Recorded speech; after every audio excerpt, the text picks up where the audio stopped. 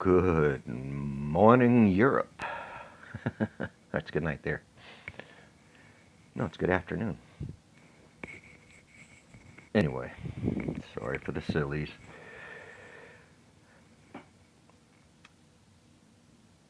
Mentioned seven elsewheres. My training in electronics was tube and transistor theory computer stuff came later.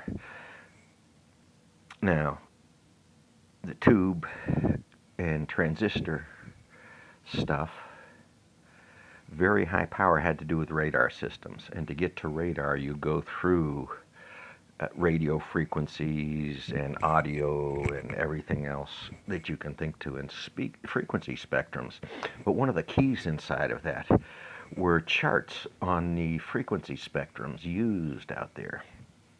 So it used to be very well defined.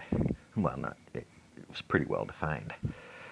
Because of the technology, radio had a specific spectrum.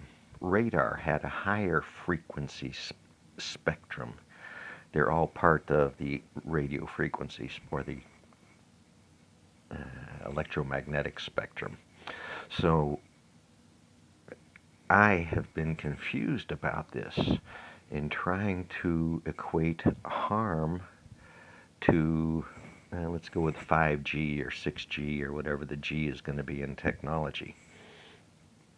The facts are a microwave oven has a door on it and it has a gasket.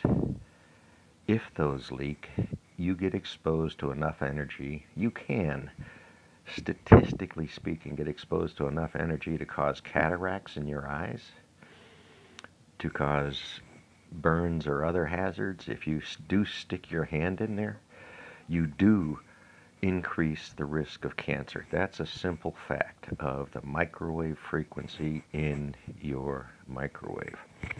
All microwaves run on a pretty specific frequency emit a pretty specific frequency.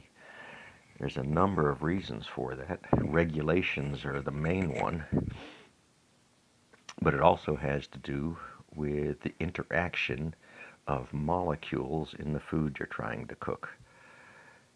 Because of this idea of interferometry, interference based on specific frequencies you get into woo very easily if you speak to these things because it is resonance, it is interferometry, it's interference, it is a microwave exciting a specific set of molecular thingies inside your food because the energies of the food interact with the energies from the microwave.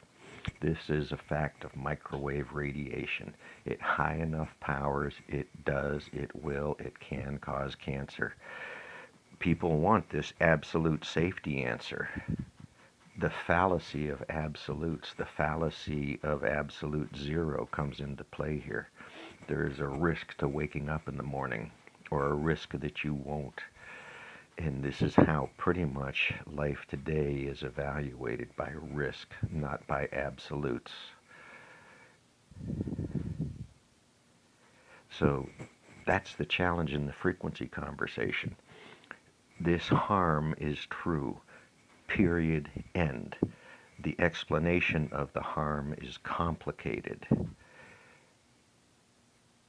And somehow not telling the truth, obscuring the possibilities, make some people think we're being misled, and I don't blame them.